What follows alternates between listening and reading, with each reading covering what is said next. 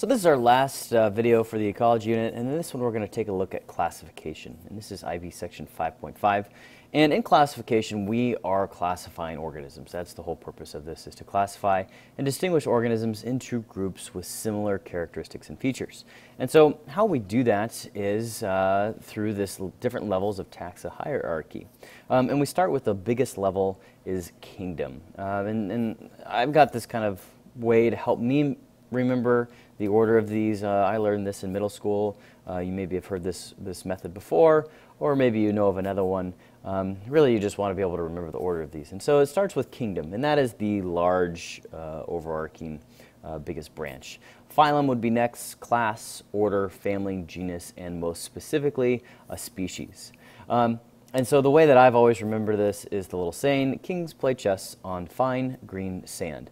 Um, it's kind of catchy. It's a good way to remember this, uh, but there's quite a few different ways to, to kind of remember these different sayings out there. Um, and so when we are outlining the system of naming and identifying organism, uh, we do this in a couple um, with a couple different specific portions to this. Each species has a name consisting of two different parts in Latin. The first, uh, which is always capitalized, uh, designates the species or the, the organism's genus. The second word, always in lowercase, names the species specifically. Uh, so both words uh, are always written in italics uh, if it's typed, or if you're writing by hand, it's always underlined. And so it's important to remember that the, the first word, the genus, is always capitalized, the species is always um, not capitalized, and they're both always in italics. Those two parts make up the scientific name. Um, some examples of taxa hierarchy. Uh, first one that we've got here is looking at a panther. And so the kingdom that uh, this would belong to would be Animalia. Um, animals would fall into that, that kingdom. Uh, as we progress from man, uh, kingdom, phylum, class, order, family, genus, species, we get more and more specific. And so the family that this organism belongs to uh, is going to have um, other organisms that are very closely related um, genus even being more specific, and then the species is specifically this organism and this individual. Another example would be for a, uh, for a grizzly bear. And here in this image uh, breaks it down a little bit a little bit differently. We've got a whole bunch of different organisms here that would fall into the kingdom of Animalia. And as we progress from kingdom to phylum, class, order, family, genus, and species, we get more and more specific. And you can see that uh, with the, the organisms that are remaining. Um, we've got black bears that stay pretty much throughout this whole portion until we get to uh, the very end with species here because they're very closely related to grizzly bears. Giant pandas uh, also being very closely related, um, stay until family. Uh, the red fox is less closely related and so it's separated at the family and order distinction. And so this would be an example of how we would actually classify a specific organism. And so what we're going to do for the, the last portion, uh, the, the last two parts of this video, is look at uh, classifying some different phylums of the animal and the plant kingdom. Um, and we're going to look at some general characteristics and then some specific groups that you're responsible for being able to distinguish for both plants and animals um, and some characteristics of those. It'll kind of be a lot of information and so what I would suggest doing is pausing the video so that you can see all of it. Uh, I would take down some notes and then continue on to the next portion. Um, and I'll go through this kind of quickly so that I can fit uh, the information into the, the, overall time limit of the video, uh, but you can pause it, obviously, at any time that you'd like to.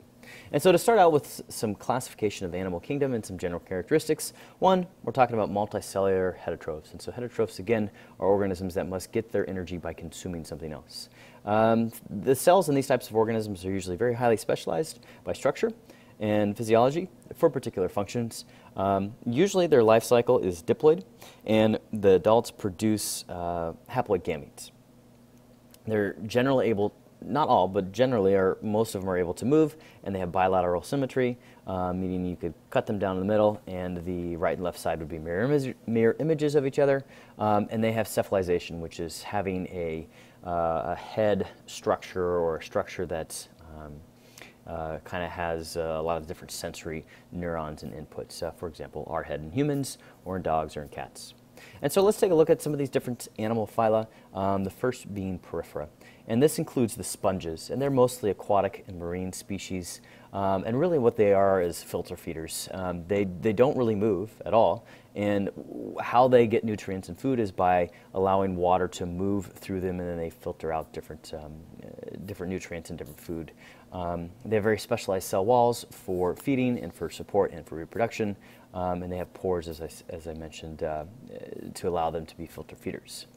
They might reproduce asexually uh, by budding um, and sexually by having free swimming larvae, but usually asexual reproduction.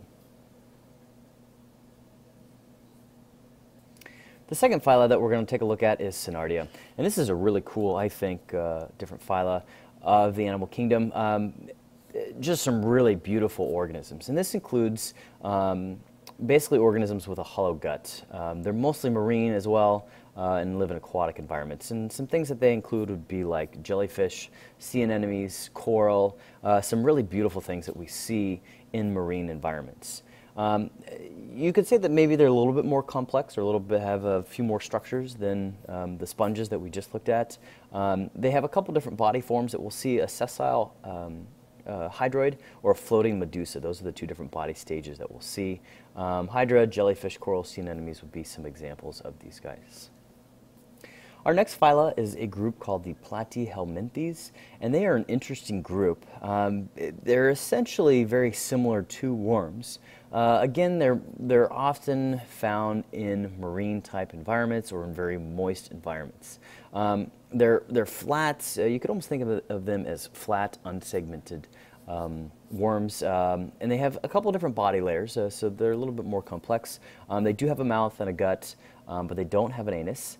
Um, and they essentially feed by scavenging or um, uh, finding other prey, um, uh, other small animals. They don't have a circulatory system. Um, they have something called a flame cell for excretion and regulation of water and ions. Um, they are oftentimes hermaphrodites, but they rarely self-fertilize. And some examples would be flatworms, uh, parasitic flukes, or tapeworm, uh, tapeworms, which are one of the grossest things on the planet, I think.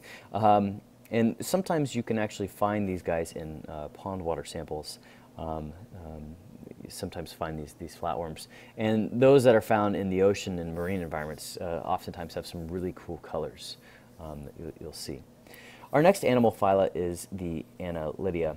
And these are uh, essentially worms. Earthworms would be a great example of these.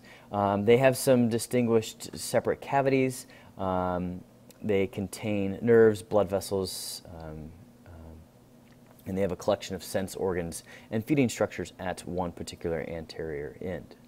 Um, our next one is uh, the mollusks, and this includes slugs, snails, uh, mussels, um, octopus. Um, they have these soft, flexible bodies uh, with no segmentation, which is kind of interesting, but they also have uh, something that's kind of cool, a head or muscular foot. Um, and then they have some sort of, oftentimes, oftentimes some sort of visceral mass that's covered um, by a, a, hard shell. Octopus uh, obviously doesn't have that hard outer shell. Um, some of these organisms have very um, well-developed um, sensory neurons, uh, for example, octopus, um, and are actually extremely intelligent uh, animals. they do have gills and sometimes occasionally lungs for exchanging gases, and they have this tongue-like uh, radula for, for feeding that helps them to feed. The last animal phyla that we're going to look at is Arthropoda. And this is a, a, really cool group and one of the most numerous animals on the planet uh, because it includes crustaceans, arachnids, centipedes, millipedes, and insects. And so everywhere you look, anywhere on the planet, you're going to find one of these guys. They are literally everywhere, insects being one of the most dominant groups uh, on the planet. Um, oftentimes they have segmented bodies with some hard exoskeletons. Um, they have a very distinct head, thorax, and abdomen, uh, three pairs of legs and two wings. Um, they have compound eyes, uh, antennae, mouth parts. Um, these are some pretty complex organisms. Um, the blood circulation in these organisms is in an open cavity uh, that surrounds all of the organs. And they have a ventral nerve cord with nerves running to each of the different segments of the body um, to help with sensory input. Um, a hugely diverse and uh, vastly spreading um, phylum within the animal kingdom. Obviously, this is not all of the different phyla in the animal uh, kingdom, um, but these are the ones that you're required to be able to recognize and uh, provide some distinguishing characteristics between, um, between these different phyla for IB. The next part that we're going to look at is uh, classifying a couple of the different plant kingdoms, uh, some general characteristics of plant, uh, the um, plant kingdom. They're mostly terrestrial, uh, eukaryotic organisms with a wall containing cellulose. Um, they're obviously able to photosynthesize, uh, and they usually have two stages of their life cycle, the gametophyte generation that produces gametes and a sporophyte generation that helps to form spores. And so the first group that we're going to look at, the first phylum, is the Bryophyta.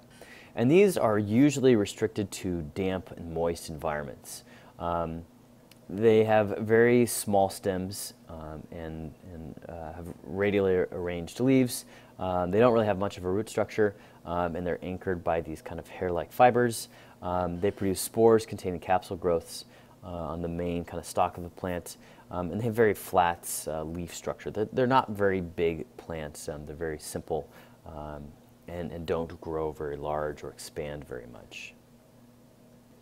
Some examples of these would include mosses, hornworts, and liverworts. And while they do, some of them do have uh, structures to help transport water, they don't really have a true vascular system as we talked about in the plants, uh, in the plants units. And so uh, they're kind of lacking some of these more complex structure. The next group uh, of uh, the plant phylum that we're going to look at is the Filicinophyta group, uh, phylum, excuse me. And this uh, includes the ferns uh, with stems and leaves and, and, roots. And they do have vascular tissue uh, for movement of water and nutrients. Um, they have a pretty elaborate leaf structure. You've probably seen these, especially in the Pacific Northwest. We've got them everywhere. Um, they produce uh, spores on the bottom side of their leaves, and so if you actually go out, you can see these sometimes, and quite often you'll see them. Um, and they're, they're, the spores are released very explosively. They kind of burst and spread out all over the place. Um, ferns have been around for a very long time, and those that are, are present today are uh, survivors of a dominant group um, that was present during the carbon, Carboniferous period um, during uh, geological time. Um, and so this phylum has been around for a long time, and what we see surviving today are survivors of those. Um, our next group is the coniferas, and these are the cone-bearing trees, usually with really long and strong stems or trunks. Um, they're really dominant in northern forests, and they grow really well in uh, poor soil. Um, the trunk will grow vertically um, and then have side branches uh, that grow out to give overall the, the, the, tree kind of an overall cone shape. Um, they have waxy cuticle and other adaptations to help reduce um, uh, water loss, and they can uh, survive uh, really low temperatures and high amounts of snowfall. Um, and oftentimes they have a mutualistic relationship with fungi that help them to survive in these poor so soil conditions. The last group that we're going to look at is the angiosperms. And we've talked about these already in our plant unit quite a bit, um, but they are the very dominant land plants that include non-woody plants, shrubs, and trees. They have stems, leaves, and a uh, root-containing vascular system, waxy cuticles, and stomata. Um, they have flowers, which are unique, uh, that produce seeds, um, and really some very complex me mechanisms of pollen dis uh, dispersal and distribution um, that often involve birds and insects uh, mammals, wind, or water, as we've talked about and discussed before, and they can be divided into monocots or dicots. The last portion of this video is going to look at steps to constructing a dichotomous key. And a dichotomous key is what can be used to classify a group of organisms um, and to identify a group of organisms uh, for their particular their genus and species or their particular name. And we're going to do some uh, practice with this and some examples of this in class, but I wanted to give you some steps so that you have an idea of how to do this and where we were going. The first is to examine organisms for the most significant features of a structure. You want to make a list, basically, of some very unique structures or characteristics for each of the different organisms. Second, list these features in some sort of table or matrix like this. And so then you've got um, the characteristics and you've got the different organisms, and you can make check marks where they do or don't have uh, some of these different characteristics. Thirdly, you want to record or, or compare the structure presence or absence against each specimen and then record that information in the table. Fourth, you want to select a characteristic shown by about half of the specimens in the matrix, and so that you can start dividing these specimens into two, into two different groups. And the eventual purpose of this is to get to do so many divisions that you get a single uh, individual organism on its own.